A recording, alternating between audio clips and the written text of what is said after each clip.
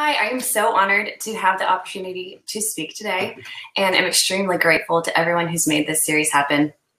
Um, like Dr. Messacar said, I'm here to talk about a parent's perspective of acute flaccid myelitis. My name is Rachel Scott. I'm a mom of five kids. I live outside Houston, Texas, and I'm currently speaking to you from uh, my office slash the therapy room. My son was diagnosed with AFM four years ago in July of 2016. And like so many parents who are suddenly faced with a rare, life changing diagnosis, we learned a lot very quickly. And I'm here to share a bit of that with you today. So Braden was five in July of 2016. He had just finished preschool and was learning to read before kindergarten. He never stopped moving. He was always bouncing around and moving a million miles an hour. His favorite thing to do was to hop on one foot. For some reason, he was so proud of that. His story is very similar to the hundreds of stories of other kids with AFM, and I wish I could tell you all of them. He got a summer cold just like all of my kids, and Braden didn't recover. On the 4th of July, he didn't want to swim when we went to a friend's house, so we let him stay home and rest. Later that evening at a barbecue, he threw up when he tried to eat a chip. Um, I put him in our friend's guest room and let him sleep while we did sparklers. We had to carry him to see the fireworks, and he laid on our chest in the grass. Over the next few days, he still couldn't swallow anything and kept getting weaker. On the 6th of July, I finally carried him into the emergency room. They told me he had strep and mono, which seemed like a horrible diagnosis at the time. I remember thinking about how the recovery from mono would take months. Um, they pumped him full of fluids and steroids and antibiotics and told me he'd be better that evening. But he wasn't. He continued to decline, so we took him back in and we were admitted. And all this time, I attributed everything to what I believed was a sore throat. In my mind, he was weak because he wasn't eating, and he wasn't eating because his throat hurt. We never once entertained the possibility that perhaps his swallowing muscles were paralyzed and that paralysis was slowly spreading through his body. Um, on July 9th, the paralysis reached his diaphragm, and we were so fortunate that a nurse was already in his room and was able to quickly take care of him when he stopped breathing. What if it had been the middle of the night? What if the paralysis had spread faster and we were still at home when he stopped breathing? he was intubated and flown to a major hospital in Houston. Two days after we arrived in Houston, Braden finally got an MRI. It was only after a failed extubation attempt that they realized that something neurologic was happening. Um, Guillain-Barré and anterior horn cell disease were both diagnoses I remember being floated. But eventually, they pulled us into the little room and told us about acute flaccid myelitis. We had never heard of AFM. The doctors had never treated anyone with AFM we had a million questions and no answers. Eight days after his first symptoms, we finally had the diagnosis and they started treatment. But what if we'd acted faster? What if our doctors were familiar with AFM and had it as part of their differential and got him treatment quicker? What if his legs were paralyzed first instead of his swallow? Would we have gotten a diagnosis quicker? Braden's paralysis spread everywhere except his left hand. He was left with the ability to do a few signs to communicate with us while he was intubated.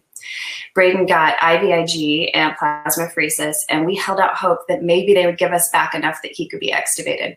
They attempted extubation again and failed. 25 days in, they took him away for a trach and a G tube. All our hope was crushed that he would bounce back and come home soon. But we were so grateful to be able to see his face again and hear little bits of his voice. He spent two months in the hospital before he was able to transfer to a rehab facility. The closest pediatric inpatient rehab facility that took kids on vents was in Dallas, five hours from home. So we shuttled kids back and forth to Dallas and took turns being there with Braden. He had daily PT and OT and speech. We learned how to suction a trach, to change a trach, to disassemble and reassemble a vent, to run his tube feeds and administer his medications. We left rehab as amateur pulmonologists and therapists. We were experts at reading his x-rays and listening to his lung sounds. We learned so much. Braden spent five and a half months there, working as hard as a five-year-old can to recover, motivated primarily by playing his iPad. At discharge, he could take little steps with maximum assistance. He still had no ability to swallow and had to have the saliva suctioned from his mouth every few minutes he was dependent on help for every aspect of his life. He was able to spend a few hours off the vent at a time and was still and was starting to begin to tolerate a PMV. His left arm was recovering and his right arm was still totally paralyzed. Braden had been gone for over seven months when he came home. I carried him out to the car in July, and in February, he came home in an ambulance. It still seems unfathomable to me. We converted our downstairs office into a mini ICU for him and learned how to reincorporate him into our lives. We had home nurses in our house 24 7, and nothing was the same. We carried on and did as much therapy as we could at home. We bought expensive equipment that was denied by insurance and kept him moving and going forward as much as we could. About 15 months post onset, we did a nerve transfer in LA.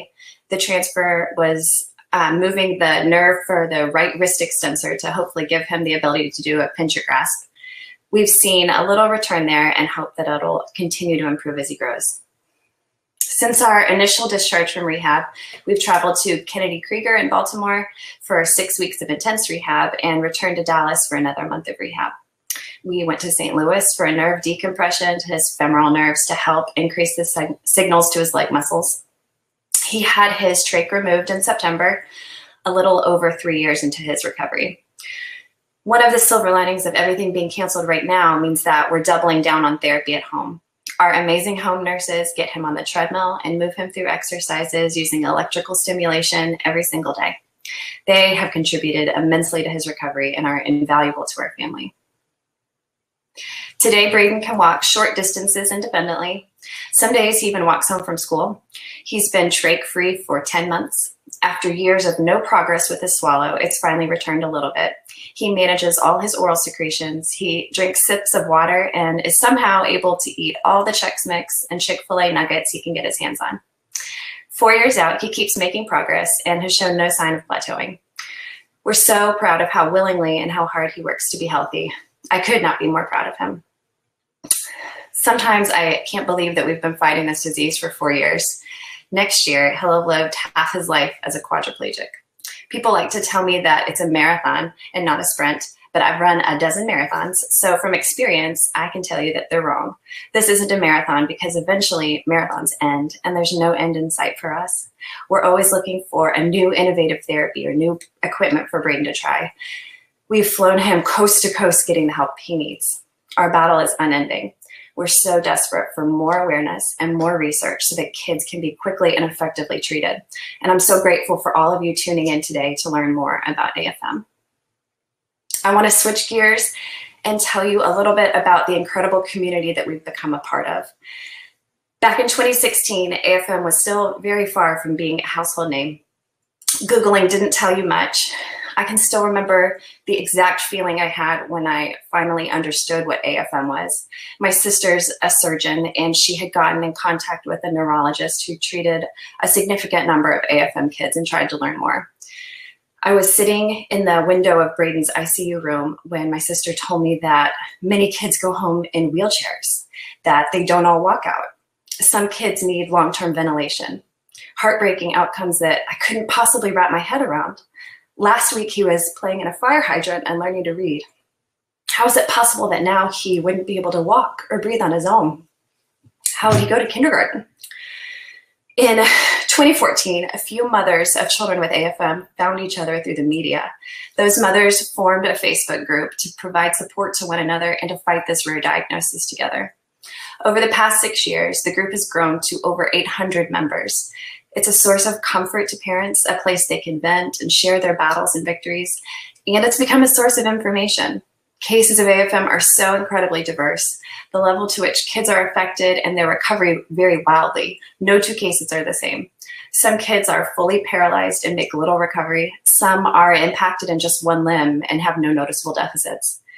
Some kids have their breathing impacted and require a ventilator, and some don't even if a specialist or a neurologist has treated kids with AFM, it's still very unlikely they will have seen a child with the same set of paralysis and recovery.